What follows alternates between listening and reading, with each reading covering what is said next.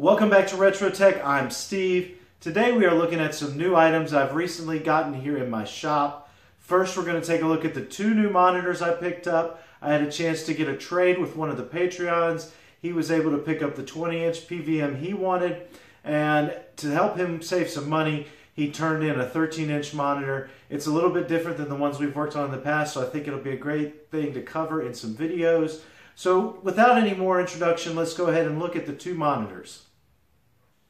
Here's the first look at monitor number one, the Panasonic BT-H1350Y. This is a 13-inch color video CRT monitor. It is high resolution and should have a line count of around 600 TV lines. At first glance, you'll notice a lot of the same type of buttons on this monitor that you will see on other CRTs and high-end video monitors. Things like color adjustment, screen brightness adjustment, as well as input selections. We have a volume selector and a couple of screen size settings. The first thing to note is there is no on-screen menu with this monitor. Now we're looking behind the monitor and you can see we've already removed our shell. What we want to look at first is our input board over here. This is where our video input and output signals will be going. First, we've got standard S-Video and composite inputs. These are BNC connectors for the composite inputs and outputs. We've got two lines for those. And then we've got an external sync input and output in case we need some kind of external sync for composite in. And then we've got the important input, which is RGB slash YPBPR, which is component input. And then we've got a color temperature selector, as well as our switch to toggle between RGB and component.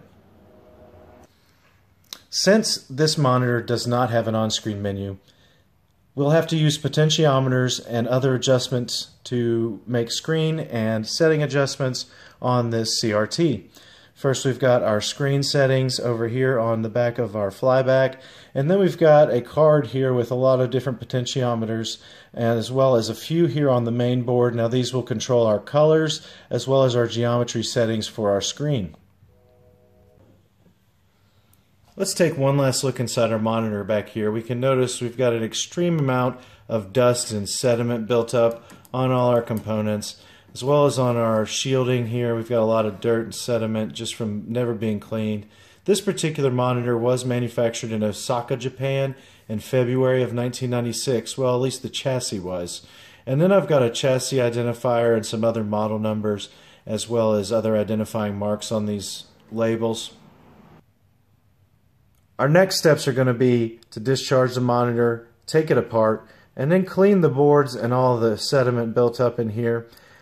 While we're doing that, we'll also inventory all the capacitors that are on the chassis here, and most of those will get ordered and replaced.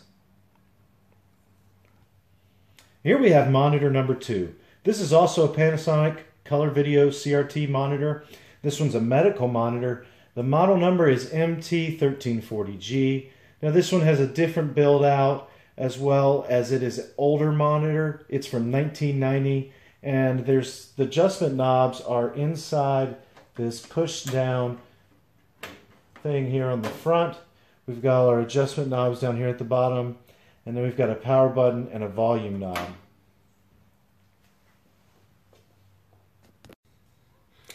And here we have the back of monitor number two. Again, MT1340G, manufactured in 1990. Here's our input area over here. We've only got BNC connectors for in and out, and that's composite in and composite out. And then we have our audio in and out. But you'll notice this very old RGB input that's very similar to a VTR pinout.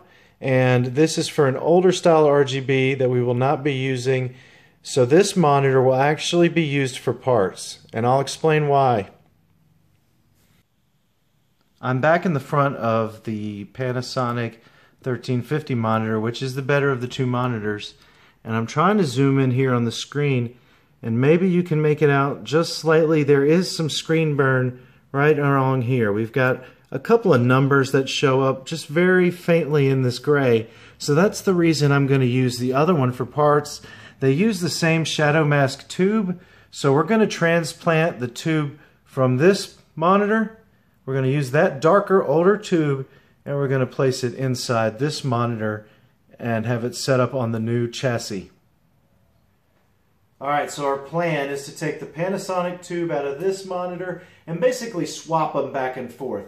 I'll still put this old one hopefully in here, that way I can hold it in there for parts for now, but I'd really like to see that tube on this chassis so we can see if we can get some better picture quality.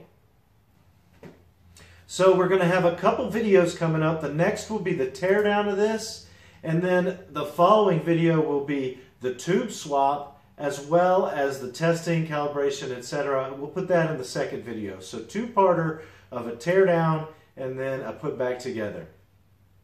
Thanks again for watching Retro Tech. I want to again thank the Patreons and especially Justin for doing the trade with me and letting me have this Panasonic so we could do some experiments and some work on it.